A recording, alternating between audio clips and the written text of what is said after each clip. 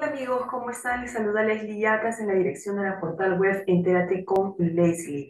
Vamos a tener esta mañana en el bloque jurídico nacional o de actualidad al doctor Luis Herrera Romero. Él es un abogado, eh, político y analista político, con quien vamos a conversar eh, todo lo relacionado a la coyuntura nacional y a la grave situación eh, que atraviesa el presidente Pedro Castillo. Y vamos a analizar también algunas eh, opciones de vacancia, renuncia, convocatoria a elecciones generales, en fin.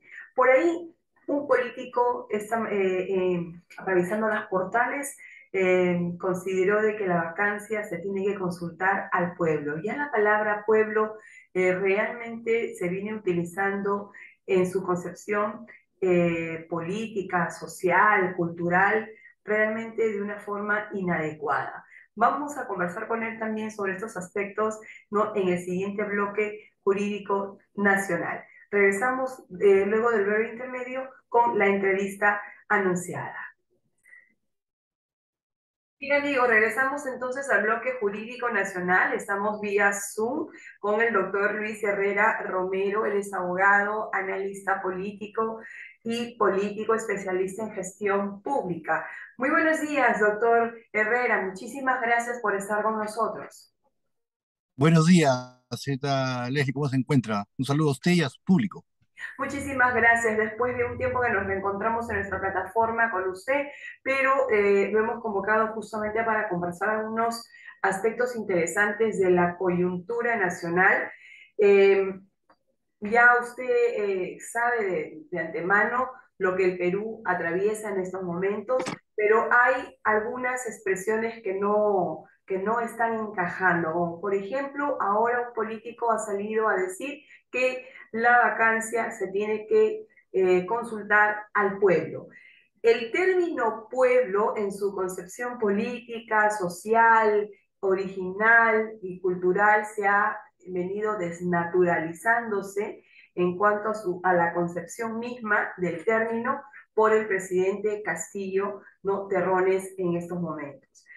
¿Debería la vacancia presidencial consultarse al pueblo para comenzar qué entendemos por pueblo? Porque ya esta frase es parte de un discurso repetitivo en el tiempo y los que enseñamos como usted en las cátedras, eh, ciencias políticas eh, o cursos relacionados pues, a la teoría del Estado, no al derecho constitucional, ese término ya no sabemos cómo lo podemos explicar.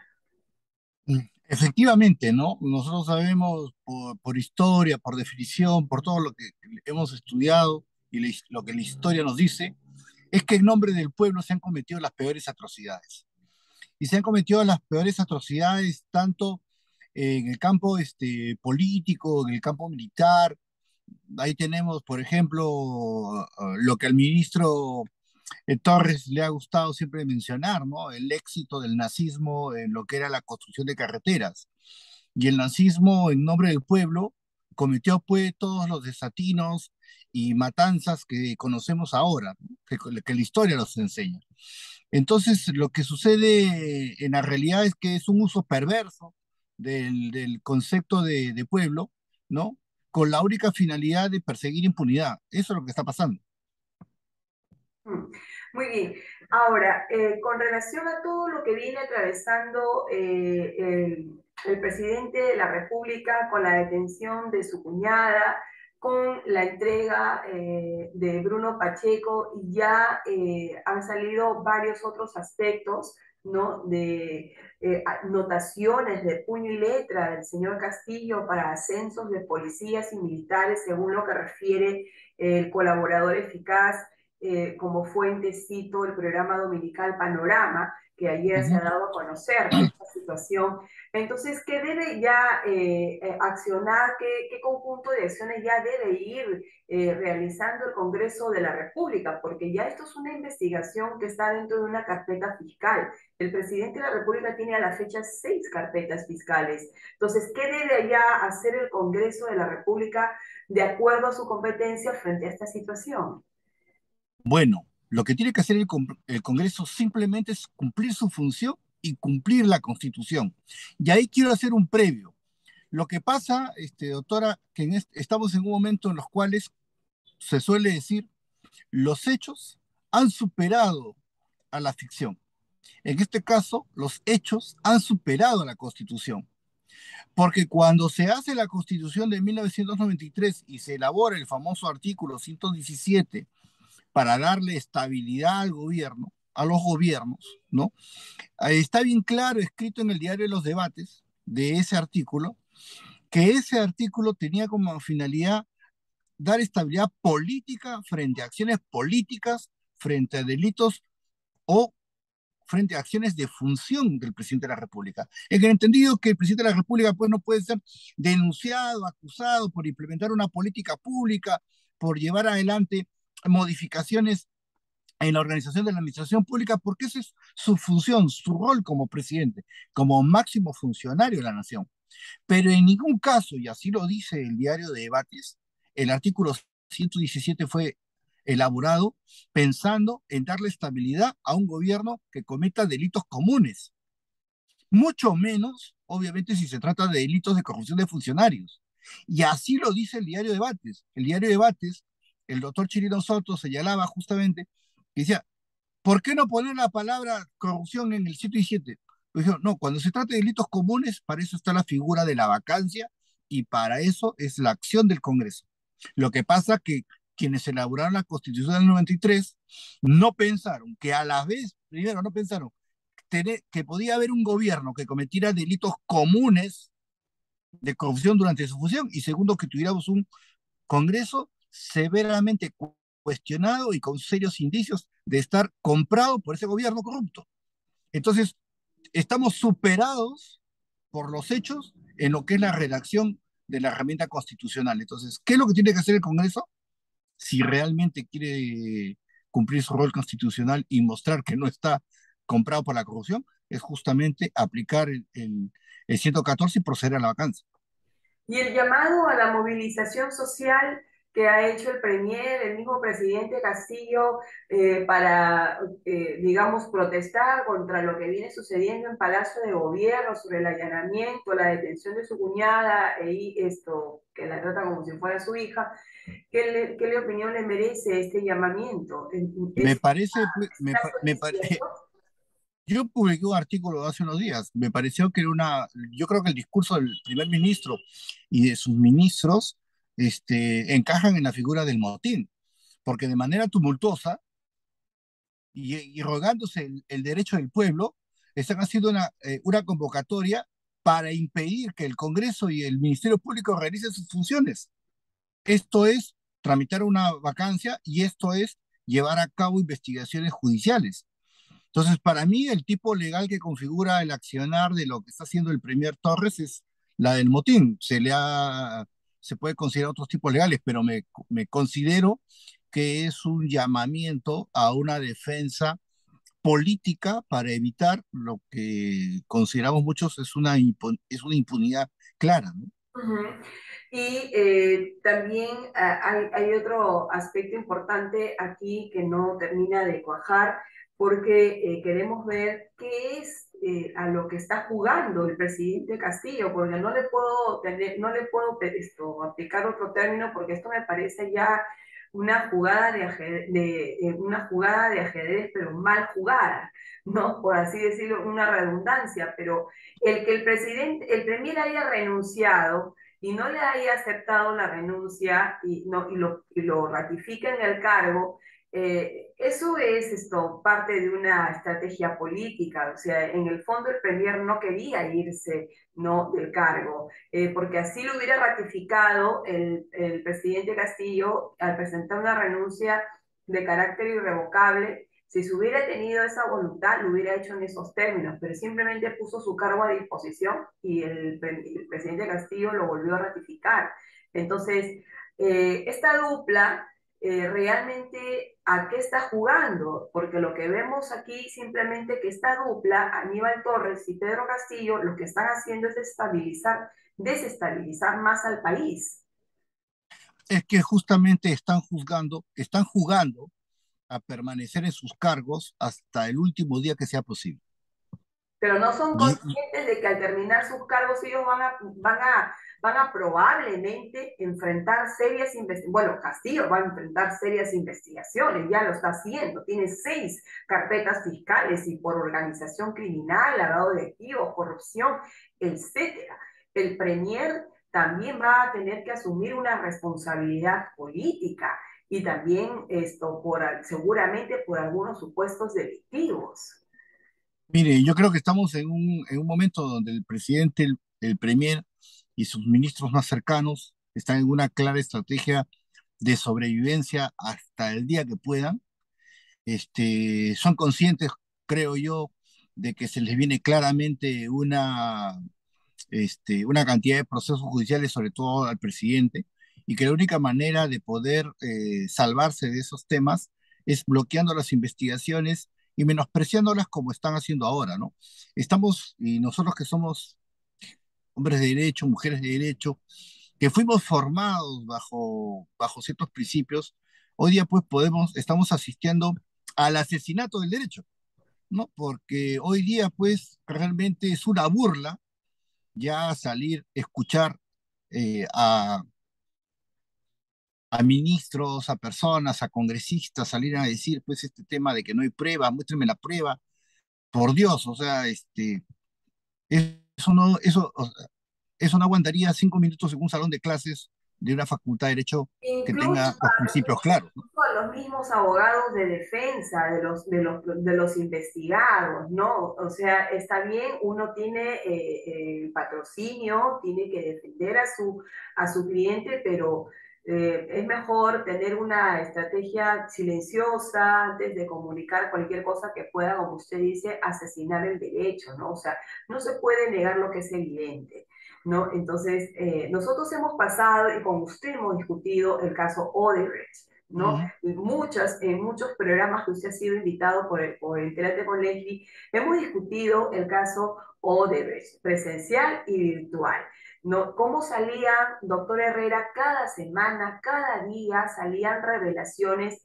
Y por ahí también comenzó el asesinato al derecho, como usted bien lo ha dicho, porque hay informaciones que son de carácter reservado, que no puede conocerlo la opinión pública, ni siquiera la prensa, porque solamente esto es interés de las partes, ¿no? En eh, de las partes en la investigación. Sin embargo, ahí se rompe ese principio de reserva de la investigación usted estará de, pronto de acuerdo conmigo en esto que sostengo, porque lo hemos discutido ampliamente.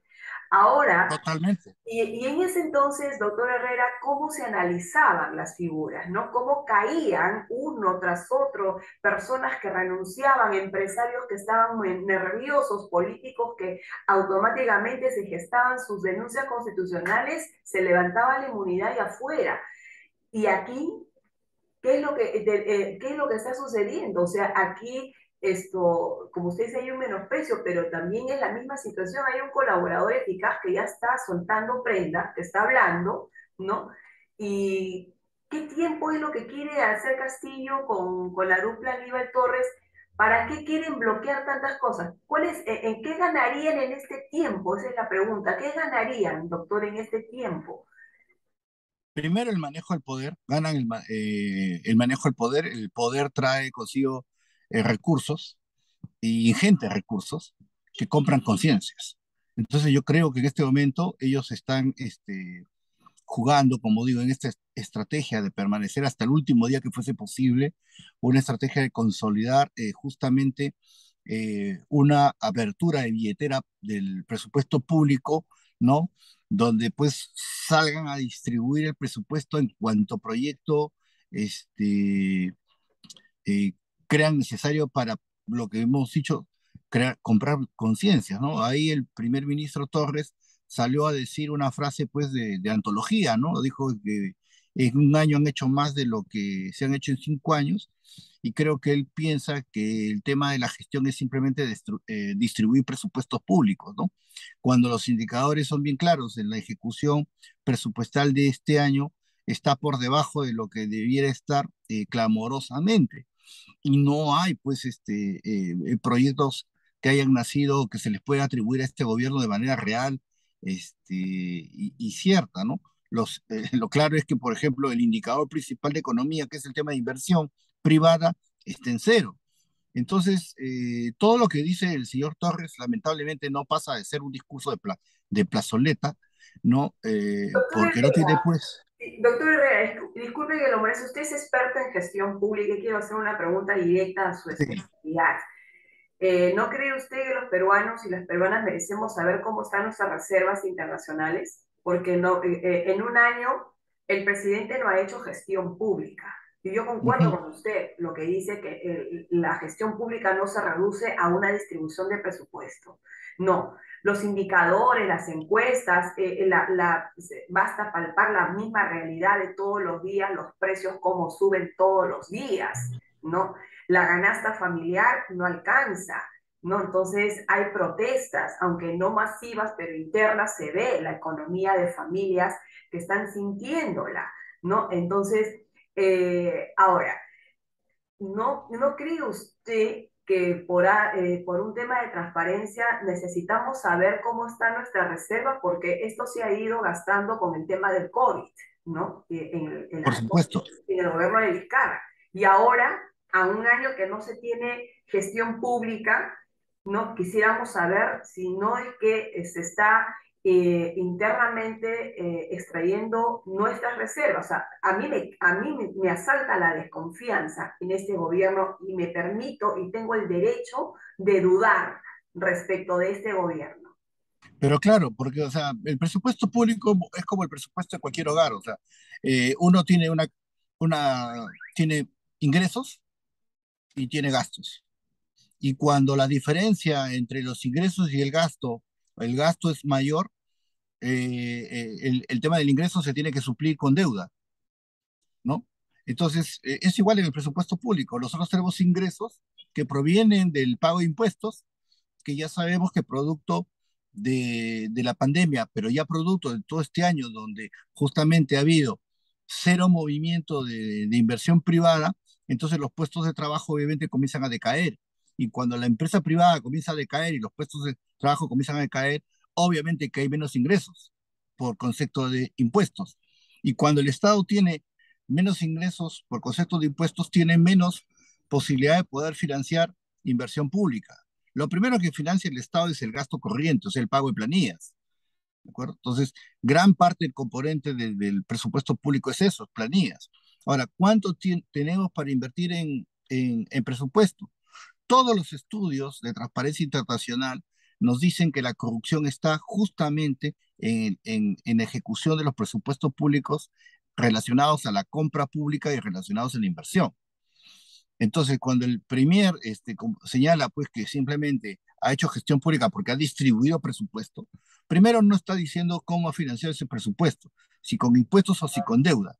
Y en segundo lugar, no sabemos cuál es el efecto final de, esas, de esa distribución porque puede ser dinero que se está yendo eh, lo peor, a la corrupción, o sea, a través de la asignación de obras dirigidas, como es el caso que se está juzgando justamente en el caso de Anguilla, ¿no? De movilizaciones masivas que quiere hacer el presidente Castillo, también Pero, la duda de dónde va a sacar el dinero para solventar el transporte, e, el pago de, de, comidas o algo por el estilo, porque yo no voy a movilizar, no me lo van a pedir acá, me van a pedir algo a cambio.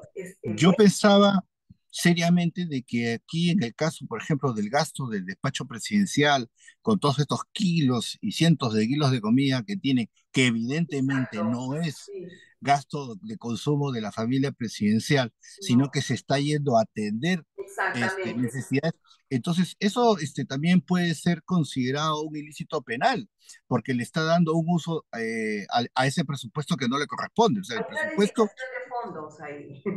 Eh, eh, correcto, o sea, este, yo creo que están muy cercanos ya a esa figura en el caso de, del despacho presidencial, porque no hay forma humana de que se pueda sustentar que tanto eh, gasto en tanto eh, en tanta comida eh, pueda servir solamente para el Palacio. Y el presupuesto de esa unidad ejecutora, despacho presidencial, no está dispuesto para financiar la alimentación de, de terceros. Entonces, ahí yo creo de que evidentemente hay claramente la figura también de otro, de otro ilícito.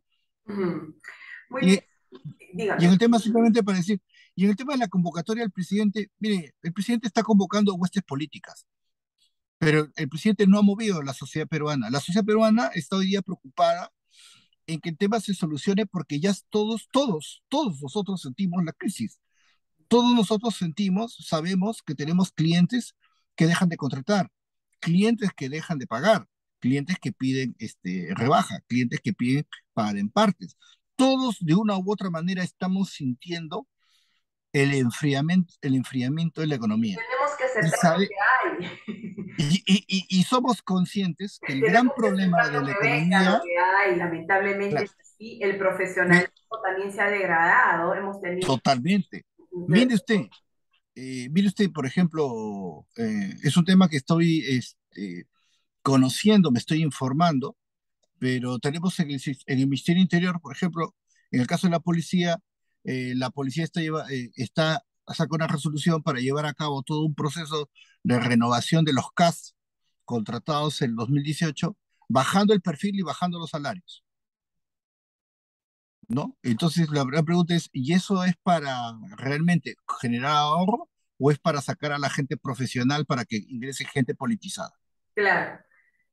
Entonces, un profesional que quiere postular a un CAS o a una vacante con todos los pergaminos y experiencia acreditada, pues va a tener que pensarlo porque de repente la remuneración que se plantea no va a ser la que uno aspira. Por eso decía que eh, en estos momentos de crisis el profesional preparado, no el estudioso y todo lo demás con toda la experiencia que tiene eh, esto prácticamente va a tener que escoger lo que hay.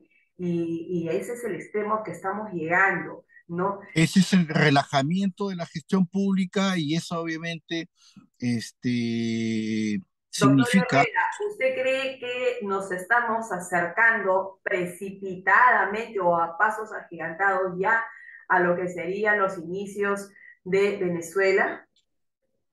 Pero es que estamos, estamos transitando el tema estamos transitando el paso. Por eso le decía, este, estamos en el inicio, estamos en los, en los primeros escalones a cómo se inició toda la, la violencia generalizada, la crisis en Venezuela. Esto es muy importante que lo sepa la ciudadanía, ¿no? Porque si realmente queremos, ese es el futuro que realmente queremos, bueno, después no se quejen. Pero si Miren, Sí, dígame, doctor Luis Herrera. ¿Cuál es el primer, el, primer indicador? Toma de las Fuerzas Armadas y de la Policía Nacional. ¿Qué es lo primero que sale a decir el ministro de Defensa? Vamos a, hacer, vamos a ejecutar 39 mil millones de dólares en compras de equipamiento militar y vamos a eliminar la agencia de compras, que es la única entidad profesional que, pone con, que es neutral y pone controles en la compra en ese sector la quiere eliminar. ¿Para qué? ¿Para asignar directamente los presupuestos a las Fuerzas Armadas y comprar conciencias? Eso es pues lo, justamente lo que pasó en Venezuela. Pues. Y el segundo tema es intervenir en los ascensos para que asciendan los, como una vez un general dijo, para que asciendan los leales. ¿Los leales aquí? ¿Los leales al señor Castillo? ¿Los, los leales a, su modelo? Los leales al comunismo, porque hay que decirlo, leales al comunismo, y eso es lo que más vergüenza da porque el comunismo ha hecho mucho daño a las sociedades. No hay ni un país en el mundo que acredite que el comunismo no, le ha dado progreso, le ha dado desarrollo y respeto a los derechos. yo soy más frío. Yo no, yo, no, yo no digo que sean leales al comunismo. Yo tengo, yo, yo considero que ni siquiera son leales a ningún tipo de ideología, son leales a su propio ah, bolsillo. son leales a su propio bolsillo. Y se van a poner el nombre que que se tengan que poner porque la finalidad es ganar. y ese es el problema. doctor Herrera, porque ellos tienen un ideario, ¿no? Un ideario que fue inscrito en el Jurado Nacional de Elecciones y bajo esa penumbra ellos postularon. Y ese es el ideario anhelado que quiere Cerrón cumplirlo actualmente en nuestro país. A eso me refería. O sea, una ideología, pero una ideología comunista, equivocada y radicalizada. No, completamente. Solamente hay una cosa que vamos a decir que nos favorece. A ver. Y eso es el personaje Pedro Castillo. Porque todos los errores y todos los elementos que existen en este ah, momento para vacarlo no son ideológicos, no son políticos. Ah, ok. Todos los argumentos que existen para vacarlo son actos propios. Ajá. Ah, bueno. Porque son actos de corrupción, o sea, errores propios al momento de elegir a su secretario, al momento de elegir a sus ministros, al momento de aceptar una coima. Esos son actos propios. Mm. Aquí, nadie, aquí nadie está hablando eh, de, de, una vacancia porque sea comunista, porque sea este, serrano, porque hable mal. Acá se está hablando de una vacancia porque una persona que ya está seriamente comprometida en temas de corrupción no puede después ser el primer funcionario de la nación porque obviamente debajo de él todo el mundo se mira con cara de espanto y dice, ¿qué vamos a hacer? O sea, ¿quién me está dando órdenes? Si yo soy un funcionario de un ministerio, ¿usted cree que alguien en este momento en su sano juicio va a querer firmar un contrato de una obra por si, o sea, va a tener pues obviamente todo el miedo. Bajo esa perspectiva, nuestro, nuestro, el cuerpo diplomático que nos representa ante organizaciones internacionales, también hay que decirlo, o sea, ellos también van a poder asumir su responsabilidad eh, política porque esas designaciones son políticas de este gobierno. ¿no? Entonces, eh, hay representantes diplomáticos que están con designación política del gobierno ante sedes de organizaciones internacionales. Entonces, ahí también ellos van a tener que asumir esa responsabilidad con este gobierno. Nadie, como usted dice en su sano juicio, esto puede decir, o el que no tiene dos dedos de frente puede decir la realidad que vivimos. O sea, acá no se trata de que haya una, este no es un tema de la derecha, de la oposición del Congreso. No, no. Esta es una investigación fiscal que está sacando más que evidencias, son pruebas las que se están, se están corroborando dentro de, este, de esta investigación. Y eso lo tienen que saber los funcionarios que han sido designados políticamente por este gobierno también en nuestras embajadas y también en esas organizaciones internacionales. Mire, estamos viviendo todo esto son los reflejos, como usted decía hace un momento, también de décadas de, uso político del sistema de justicia, ¿no? Porque como la política peruana siempre ha estado fraccionada y se ha, y se ha dividido en tribus, acá eras o a favor de alguien o anti alguien, acá todo el mundo aplaude pues cuando el, el, el, Ministerio de, Público ha tenido pues fiscales este, estrellas del marketing que han salido pues a hacer lo que han querido, han dicho lo que han querido y los han aplaudido. ¿Por qué bajo, por qué bajo la misma lógica no tiene la misma vehemencia en felicitar lo que está haciendo la fiscal de la nación? ¿No? Entonces, yo, eh, seamos claros, pues, o sea, la, eh, de izquierda, política de derecha, política de centro, el que fuese, ¿no? Que se corrompe, finalmente es un delincuente y hay que tratarlo como tal. Y, ya, y si no llegamos a, lograr tener confianza en el sistema de, administración de justicia, llámese fiscales y jueces, entonces estamos perdidos. Ahí sí ya estamos perdidos. Entonces, creo que la última ratio, el último nivel de confianza en este momento es la Fiscalía de la Nación. Así es, es lo que iba a, cerrar la entrevista con ellos. Sí, yo creo que eh, hay que defender el fuero del Ministerio Público porque está haciendo su trabajo y no podemos permitir que ningún tipo de movilización obstaculice o bloquee las acciones que la fiscal de la Nación, que eh, en un gesto de diferente e inherente a su función, ha eh, abierto una investigación que había cerrado la, la, anterior fiscal, ¿no? Entonces, eh, yo creo que eso es digno de todo reconocimiento y hay que defender pues este fuero porque es lo que realmente esto interesa a la sociedad conocer qué cosa es lo que está pasando, ¿no? Estas culpas o estos hechos vienen desde aquellos que apoyaron el golpe de Vizcarra en el cierre del Congreso. O sea, como dirían, los, como dirían los abuelos, no hay que ser pues mojigato. O sea, acá hay, acá hay gente que salió, escribió, aplaudió Incluso, lamentablemente, un tribunal constitucional validó lo que todas, en, en todas las formas, fue un golpe de Estado velado de parte del, señor Vizcarra al cerrar el Congreso de la República. Y todo eso, en gran parte, ha contribuido a los males que actualmente tenemos con este Congreso, ¿no? Que no cumple su rol eh, constitucional de, de, control, porque lamentablemente, y así todos los indicios lo dicen, pues tenemos gente eh, congresistas que están comprometidos y alineados con el gobierno, no solamente por una cuestión política e ideológica, a quienes yo puedo entender, sino por intereses este, personales pecuniarios. Y ahí sí estamos hablando de la Comisión de Ilícitos Penales. Entonces, dejemos que el Ministerio Público actúe. Si hay la prueba, o sea, si hay el, si el conjunto, y usted lo sabe igual que yo, o sea, y por eso decía que la, la argumentación jurídica que, que, se hace en estos casos en un aula universitaria, pues no aguantaría, no aguantaría cinco minutos, pues, o sea, entonces, si no, tendríamos que decir en la próxima currícula de Derecho Penal que eliminen el, eh, la enseñanza del capítulo indicios, ¿no? O sea, y que cambien el capítulo por un, un, capítulo que se llama La prueba absoluta. Y eso no existe. Pues. Tenemos que volver a hacer también una reforma de lo que significa pueblo. Muchísimas gracias, a usted. por este análisis tan, tan esto, exhaustivo, completo eh, en nuestro programa. Hasta una nueva oportunidad. Gracias. Saludos a usted y a su público. Gracias.